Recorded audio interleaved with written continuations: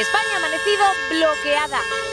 Agricultores de todo el país se han echado a las carreteras para protestar. Llega un punto en que esto es insostenible. La situación hoy está grave de parar. Esto ya se está yendo de madre. Toledo, Tarragona, Zamora, Valladolid, Murcia, León y así una larga lista de puntos en el mapa que han estado colapsados. Porque no podemos seguir así. Tractores en autovías, carreteras comarcales y en el centro de las ciudades.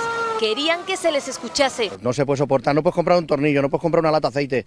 Esto es insoportable. Nos quedamos sin comer. Y avisan, no tienen prisa. Porque total, para trabajar a pérdidas en el campo, pues también podemos estar a pérdidas aquí. Complicado acceder, por ejemplo, a Burgos.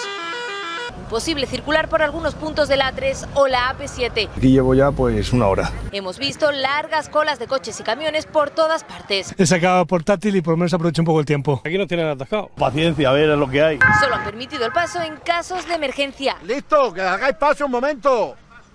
Pues tengo que pasar que me estoy haciendo de vientre. ¿Qué quieres que haga? Incluso nosotros No, escolta. lo hemos tenido complicado. que no puc gravar.